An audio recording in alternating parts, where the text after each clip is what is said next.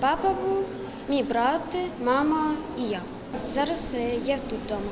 Був в АТО в е, Рубіжному, чекали дуже довго, переживали за нього. Сім'ї моїй ж бажаю щиро, здоров'я, радості і миру, державі процвітання і волі, собі щасливого дитинства і долі. Нашими побажаннями, нашими фо- фотокартками ми, е, цю, долучаючись до цієї книги, ми нібито е, молимося за е, Україну, молимося за її захисників і наша, ваша молитва, саме в першу чергу ваша.